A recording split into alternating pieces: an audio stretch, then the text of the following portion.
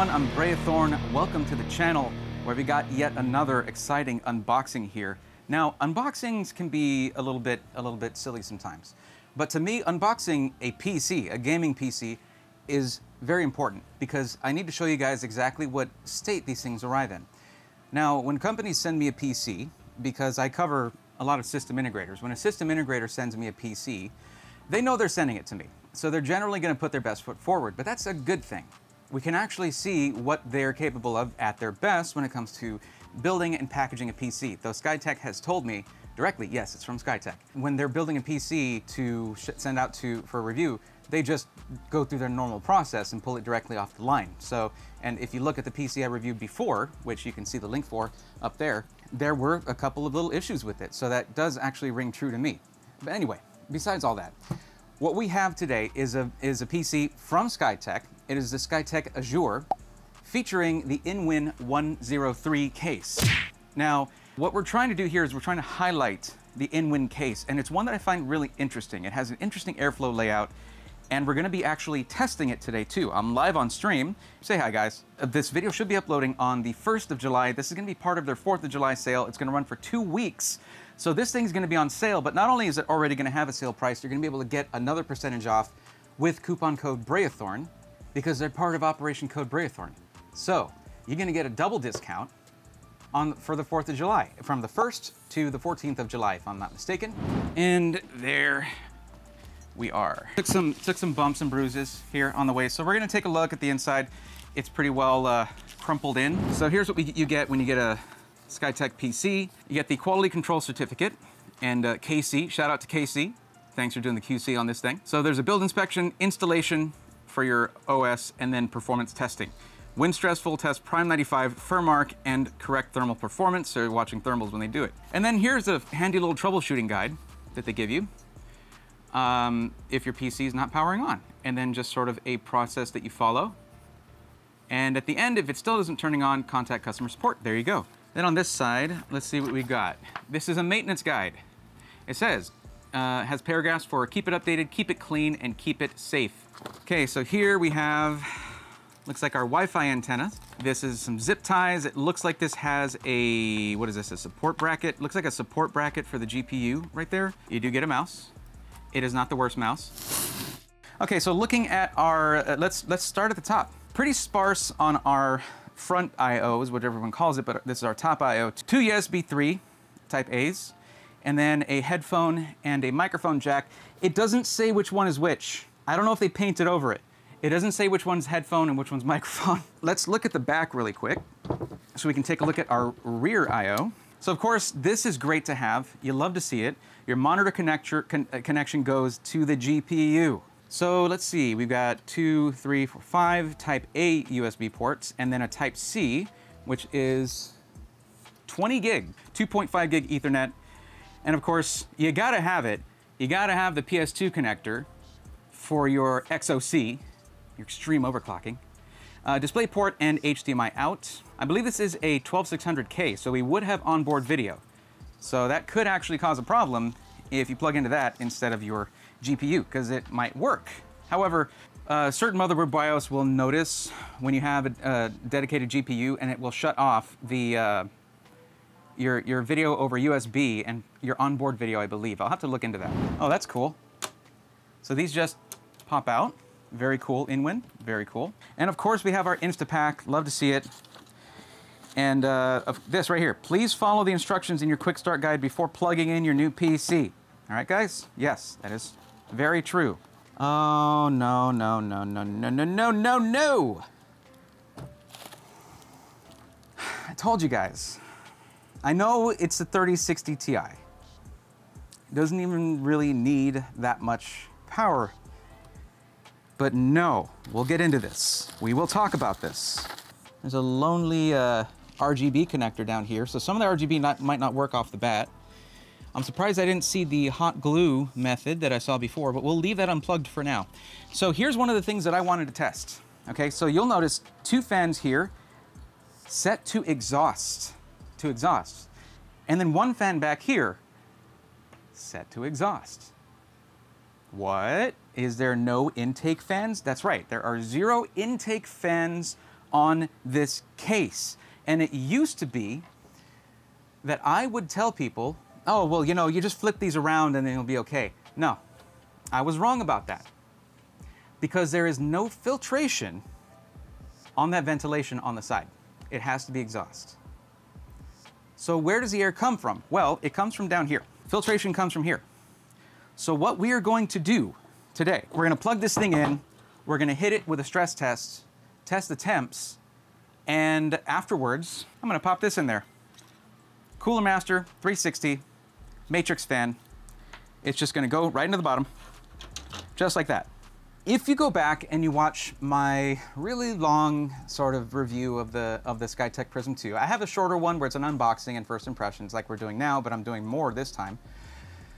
And then I did a sit down where I was like, here's the pros and cons of that system. And one of them was two power connectors on the GPU, and they only ran one 8 pin PCIe power connector from the power supply with the pigtail. If it requires basically more than, more than 300 watts overall, you need to run separate ones. It's a good practice to just run separate ones anyway.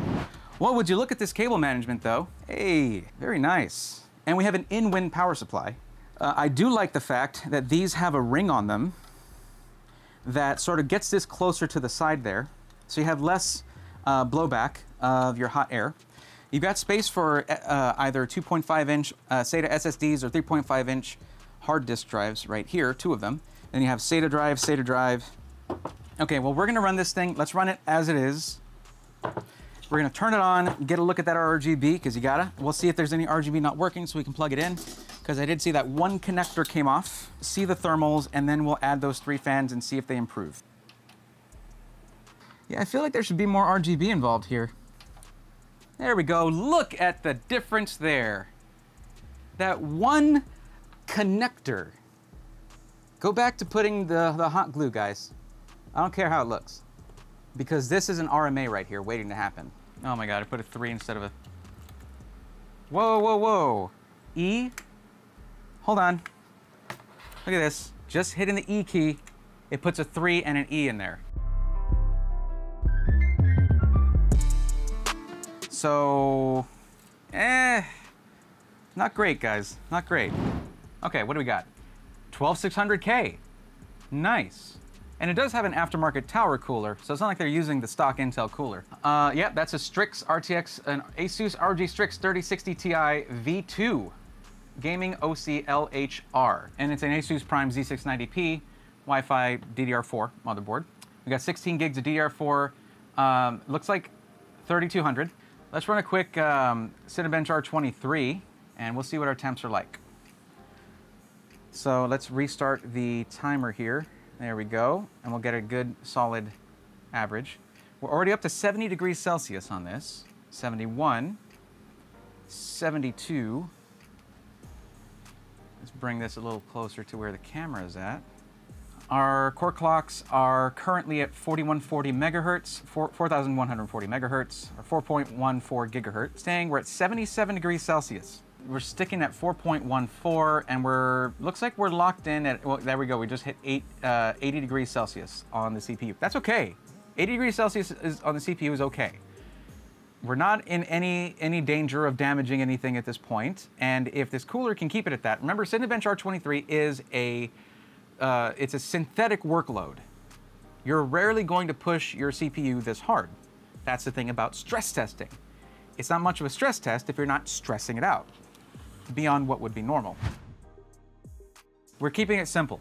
Max CPU temp on Cinebench R23 and max GPU temp uh, on FurMark. Now keep in mind, this is a, a Strix 3060 Ti. I don't know that every one of these is gonna come with a Strix 3060 Ti. That's not been made clear to me and it's not stated on the site, but this thing has a massive cooling solution on it. It's huge for a 3060 Ti. GPU clocks at 1695 megahertz. And the notes I'm taking are just for this stream. Like I'm gonna be able to go over the recordings and see what the actual temperatures and frequencies are. Uh, looks like down to 1680 already. Uh, but the maximum temperature so far for the GPU is 48.8 Celsius. It is continuing to rise. Well, max temperature 57.2 degrees Celsius. I think we can tell right now that this GPU is fine in this configuration. It doesn't need the extra fans, but we'll see if it, if it benefits the CPU. I think we'll go ahead and stop it here because it is not getting any hotter than this. And our clocks are still at 1680, uh, 1680 megahertz, 1695 megahertz. I mean, yeah. No, it's, it's pretty stable. When it comes to gaming, your GPU is the most important component, and keeping it nice and cool keeps your frame rates up. Um, this case is probably fantastic for a gaming PC. Um, if you're trying to do more CPU intensive stuff, I don't know, but I can tell you for a gaming PC, this is gonna do what you need. Oh yeah, look at that. That fits like a glove. Look at that. Super easy to do. This is no problem. Any of you guys could do this. Welcome to Cooler Master, home of the Master Cooler. All things being fair, we put the glass back on. Now, something that I do need to say, and I forgot to say at the beginning of this, but this PC was provided by Skytech, and I do get to keep it. However, they did not get to tell me what to say during the video. They did not get to tell me to see any of it before it gets. Well, actually, it, this is a live stream, so before it gets published, they could be watching and seeing this or watching the VOD. Either way, uh, they don't get to decide what content or what I say goes into the video. They don't get to decide my what I tell you I feel about the, the whole thing. And I also was not paid for this. They're just like, hey, well, you get to keep it if you want, but just let us know what you think about this and the InWin case and all that. Do you guys remember what I set my password to? They said set your password to something memorable, I think. So I think it's something memorable is the password. Super memorable. Did I do that right? Super memorable. Okay. But now I don't remember. uh, I am tired. We'll see if this helps the CPU at all. If not, we can make the rear fan an intake and see if that fixes that. Because honestly, the CPU is pretty isolated like this. Uh, let's just see if this helps. And change our average. Let's just hit reset our average. Maximum went up real quick to 72, but right now core temps are at 65. Max went up to 74. I mean, core temperatures are sitting at 72. And of course, the thing is, we're going to have pretty large deltas between the different cores. Now, the 12600K has six performance cores and four efficiency cores. So it's essentially a 10 core processor, but four of those cores are meant for handling background tasks. The, the reason we're seeing core temperatures sit at 73, but our maximum is at 80, is because our performance cores are hitting uh, higher temperatures than our efficiency cores. And this is shown right here. Uh, P-Core 5 because it's P core 0 through 5, that's six cores, uh, is sitting at seven, is one sitting at 79 degrees Celsius, whereas all of our efficiency cores are sitting at 66 or so degrees Celsius. So you'll see the performance cores are where the temperatures are at. That's why you see the max temperature is higher than what it's saying is the overall core temperature. So we're still hitting 80 degrees Celsius. There's zero change to that. So we'll run, uh, let's run our FurMark again.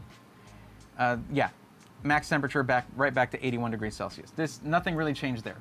And we're looking at up here at GPU temperature maximum, not hotspot, but the the maximum temperature for the GPU just in general.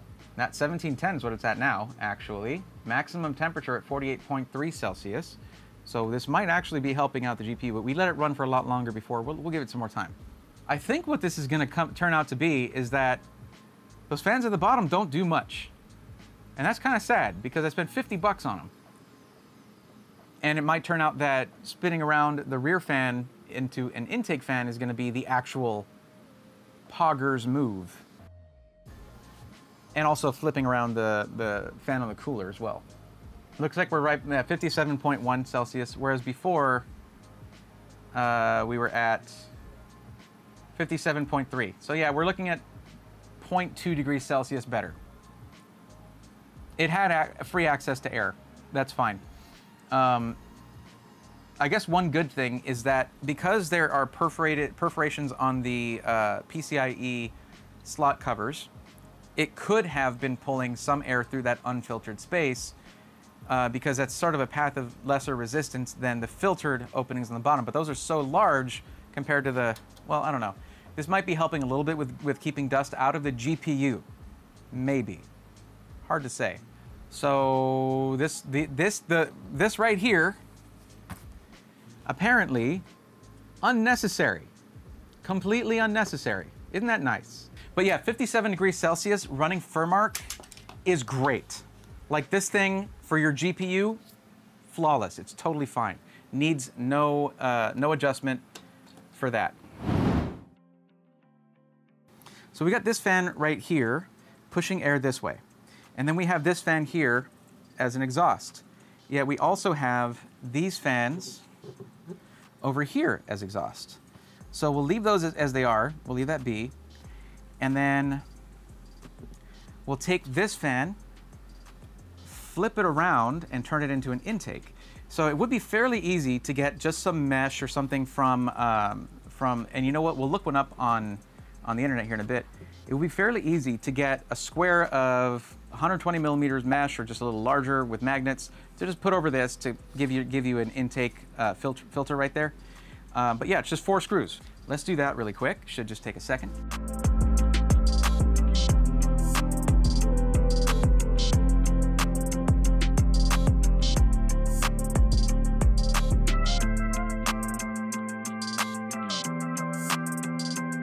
This CPU fan is held on with two clips at the top and two clips at the bottom. We literally just have to relocate, relocate it to this side over here. Or flip the fan itself around and have it pull air through. So let's just get this flathead under there without, and we're gonna try to do this without damaging the fins.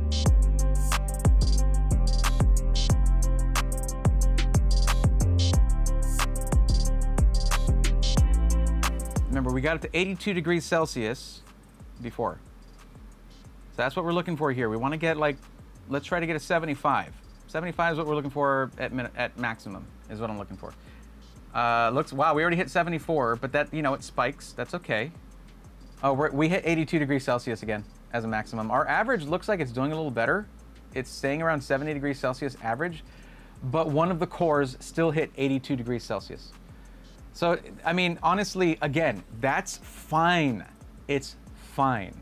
I was just hoping for some improvement with this thing getting fresh air directly to it. From the first time we ran Cinebench R23, this was manageable, 100%. So it's not the case of like, oh, we got to fix this overheating issue. There is none. It's just, I wanted to get temps a little lower. I wanted to see if this was already pretty optimal. And guys, it, it kind of is. Inwin did a great job with this case because I couldn't really, I couldn't change anything when it came to the, the CPU temps. They were acceptable already. Everything was fine. Um, when you run Cinebench R23, it's going to put your CPU through hell. That's what it's for. And uh, I will say the cooler is doing it's doing the minimum. It's basically it's not it's you're not overheating your CPU. It's not thermal throttling. It's fine. It's totally fine. Um, but I believe that if you want to overclock your CPU, maybe putting something like a 240 millimeter all-in-one liquid cooler in here might be a, a benefit to you. Uh, yeah, feel free to get this. You have my seal of approval. Uh, this thing's running great. And uh, the only downside that I found in this entire build is not even 100% of a downside. Because the ROG Strix 3060 Ti doesn't pull more than 225 watts of supplementary PCIe power. So the fact that the power supply only has the one uh, PCIe cable that I could find anyway, uh, and they ran it on that plus a pigtail for the second connector is fine. I just wouldn't put a more power hungry GPU in here unless the power supply is up to the task and has more than one PCIe supplemental power connector. Even though I had um, questions about how it would be with everything being exhaust, everything stayed within parameters that you would want for your temperatures. So yeah, this thing is awesome. Be sure to check it out for the 4th of July sale. And be sure to use code Braethorn to get an additional discount on top of that. And um, yeah, take a look at skytechgaming.com and uh, check out the, the Azure right here in the Inwin 103. So thank you, thank you to Skytech and thank you to Inwin for, uh, for providing the PC. And I look forward to, uh, to, to, seeing you guys building some of these on stream. And uh, that'll be it. Until then, take care.